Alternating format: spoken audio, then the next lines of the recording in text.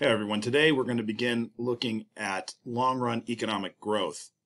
In a previous unit, Unit 4, we talked briefly about how when the economy is at long run equilibrium, government policy cannot create long run increases in output. That because of money neutrality, for example, with monetary policy, um, we can increase aggregate output in the short run, but the economy generally adjusts itself back to full employment in the long run, leaving us with the same level of real output but with higher prices. So that's not growth, that's fluctuation. So what we want to do in this unit is look at what it is that actually plants the seeds of actual permanent growth in output. And so um, we're going to start by just talking about what it means to grow. We could measure the size of the economy, and we have with GDP, which is just measuring the size of the economic pie that everyone gets to share. And we could then say, well, GDP, nominal GDP is not very helpful. So let's look at real GDP. Let's adjust for inflation and see if that pie is actually getting larger or smaller over time. And while that might be useful, what would be even more interesting is to see if that pie is getting larger for everybody. So we look at real GDP per capita and determine whether or not each individual's slice of that real GDP pie is getting bigger or smaller. So our focus will be on real GDP per capita. Within the United States, we can see that real GDP per capita is increasing and has been increasing for well over 100 years. If you use 1908 as the base year, then by 2008, we were nearly seven times larger as an economy than we were uh, before. And so clearly, there has been an increase in improvement in the standard of living for pretty much everybody in this country um, because real GDP per capita continues to grow and grow and grow. Doesn't mean that there isn't room to improve, and certainly that there aren't people who are struggling and suffering uh, economically, but it does seem to indicate that even sort of the worst case economic situation in America today is significantly better than the worst case economic situation 100 years ago. When it comes to measuring how fast or how quickly the economy doubles in size, uh, we sometimes use what's called the rule of 70. It's sometimes the rule of 72. It's really an exponential function looking at how long it takes for uh, something to double in size given a percentage growth rate. And so we do 70 divided by the annual percentage growth rate to determine how many years it would take for the economy to double. So when the economy is increasing at 2% a year, then it would take approximately 35 years for the economy to double in size. So the question is, why has the U.S. economy grown so strongly over the past 100 years? What is it that's driving this massive increase in the size of our GDP per capita, the massive increase in the size of GDP overall? And the answer is very similar to the answer one might give when asked, what is the secret to real estate? And when you, when you talk to real estate agents and they say, What's the secret to real estate? They say you need to know three words location, location, location. Well, when it comes to economic growth, you need to know three words productivity, productivity, productivity. That's the key to economic growth. The more productive an economy is, the more we see increases in productivity overall, um, the faster the rate of growth within an overall economy. So anytime you're able to produce more goods with the same amount of resources, you're seeing an increase in productivity and therefore an increase in long run aggregate supply or an increase in full employment output, for example, or um, potential output. And in fact, productivity is the only way to sustain economic growth. Like we said, when you increase government spending, there's a short term increase in output, but there's always this pull back to long run equilibrium. But with sustained actual economic growth, with productivity, we'll see that long run aggregate supply curve shifting to the right. And so the economy is doesn't have to shift back left because where it wants to go is moving to the right and it's continuing to increase.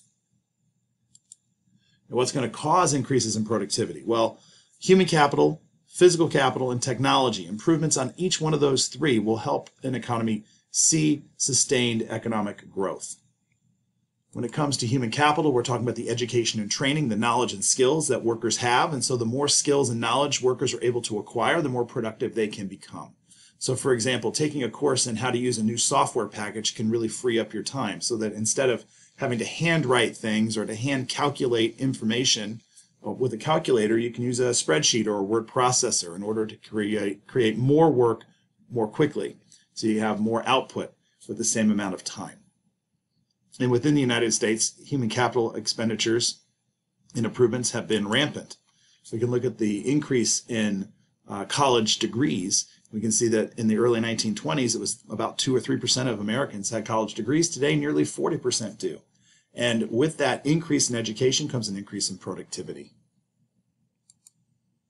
Physical capital is really the, the workers, the tools that, uh, that, that workers need to be able to do their jobs well. And so to think of physical capital, ask yourself this question. If you had to dig a hole, which would be which would go quicker? Which would be the better way to do it? Would it be better to just dig a hole by hand or to get a shovel? And I think we all sort of understand intuitively that the shovel or the tool helps us to be able to do things more quickly.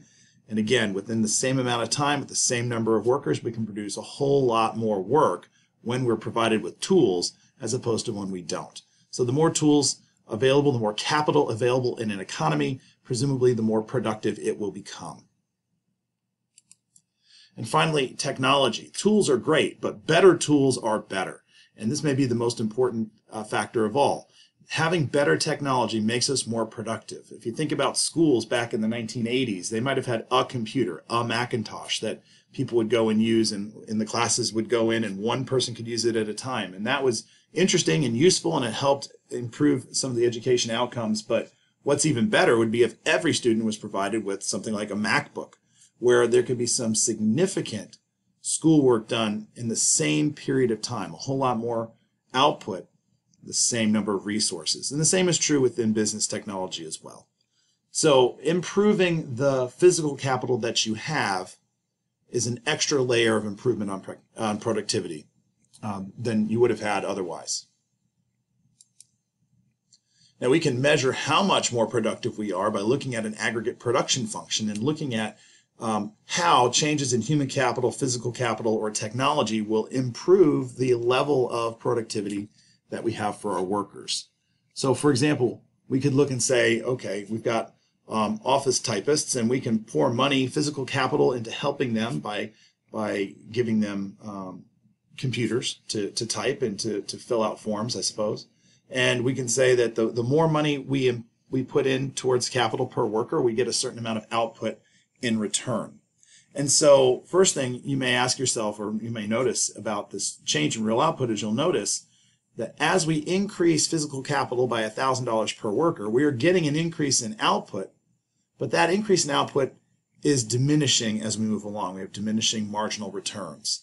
So there's sort of a, an upward bound of how much output we can get by adding physical capital. Because at some point, there's just too many computers. I mean, if you have got more computers than workers, there's only so much you can do with those extra computers. You can get a little bit more work out, I guess, if you're running some sort of script on one computer and you can turn and work on another. But generally speaking, there's sort of a, a maximum amount, right? So we can graph this information on a graph, and we would see then that as we're increasing physical capital per worker, if I go from $1,000 worth of physical capital per worker to $2,000, well, I'm going to have an increase in uh, output per worker. That's true.